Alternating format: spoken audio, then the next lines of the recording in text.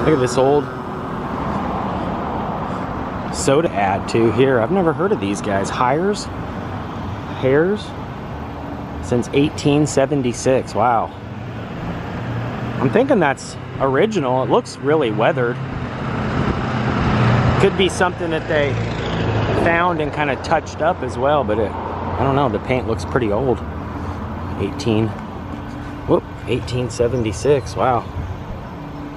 That's pretty darn cool. Drink hairs. Looks like maybe it was an orange, orange soda. Oh no, root beer. Huh, I'm gonna have to look that up. Pretty cool. So we are entering the historic Brooklyn neighborhood and if you can see up top there, they've actually got the house and a train as well on the signage. Pretty cool.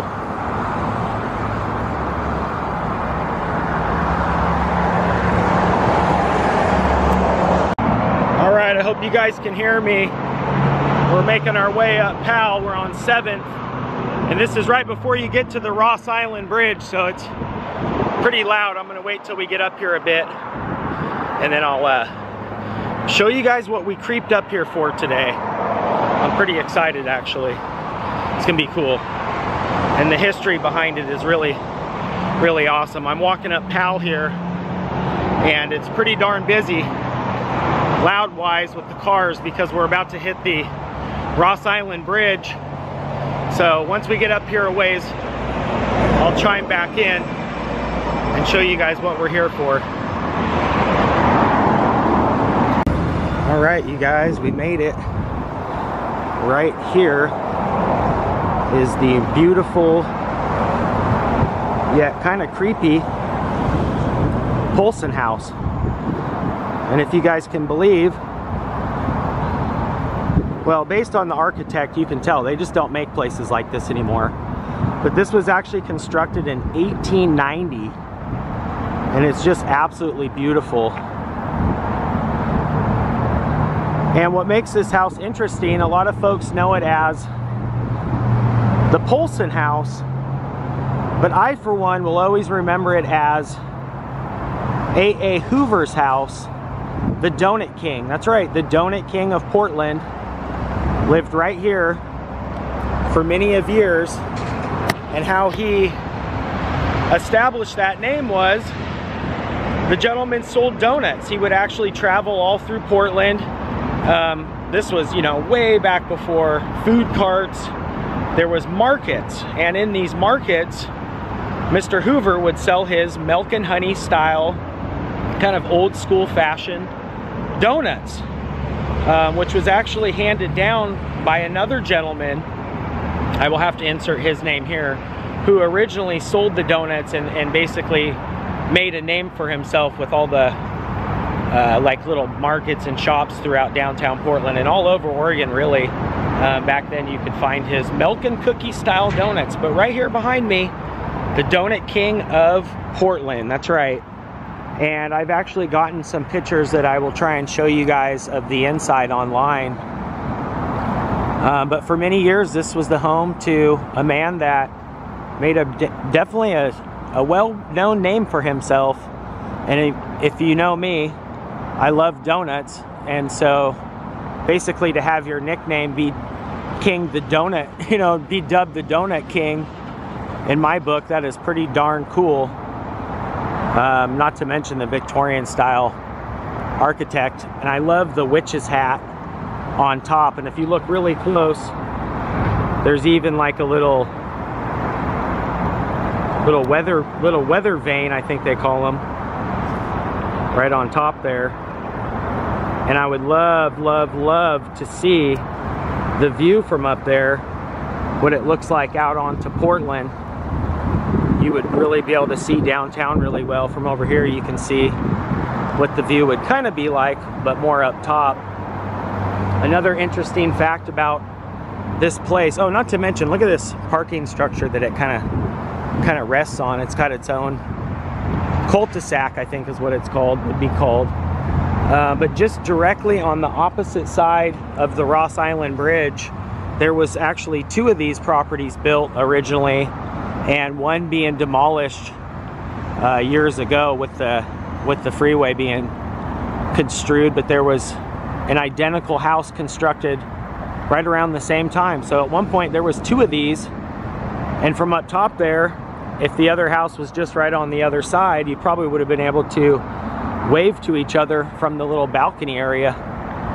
But that is just so cool to me and I just love, like I said, I just love this house. It's so beautiful and and also very creepy at night. I could see where a lot of folks over the years may have said it was haunted.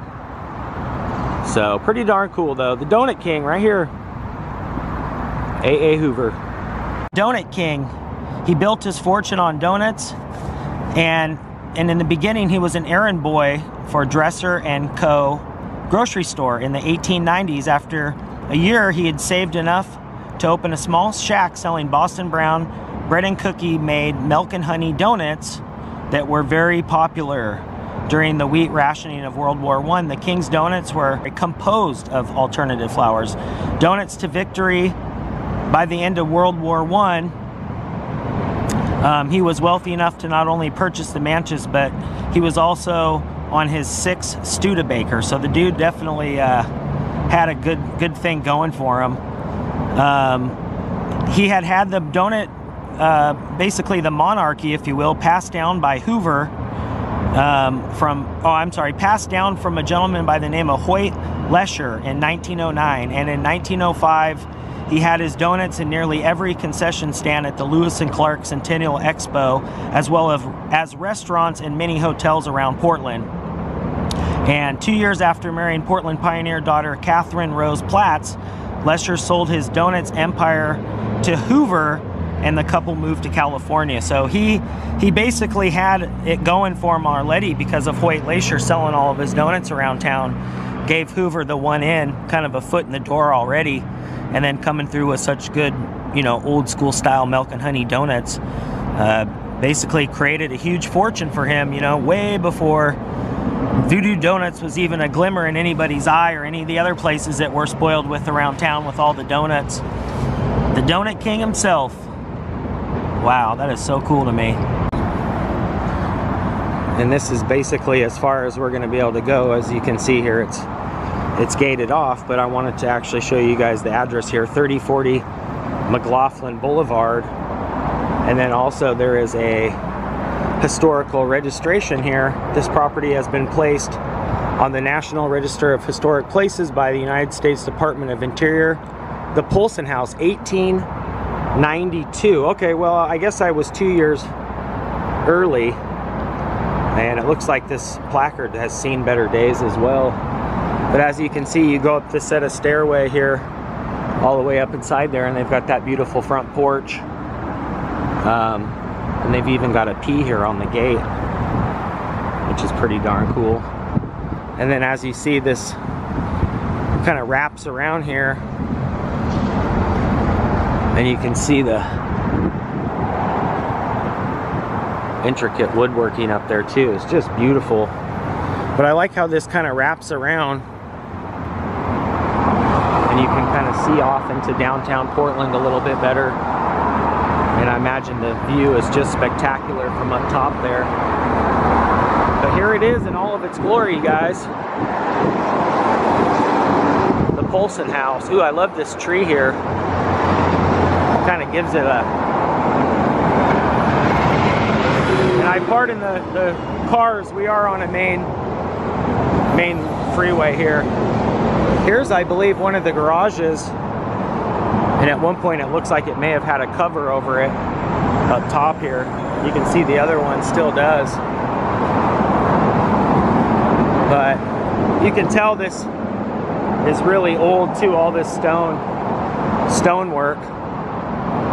So, no much of a carport anymore. But there you have it.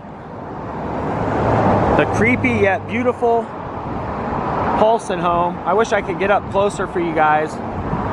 Um, but from what I read online, I don't even think anybody resides here. I think they're actually in the process of actually selling this place.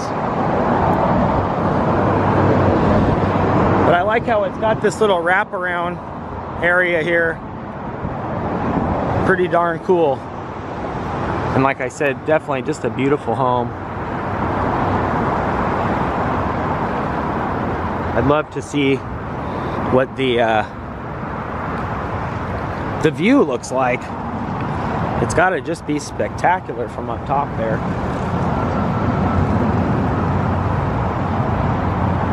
But this is probably the best shot right here from this side all the way back you can see just how amazing it is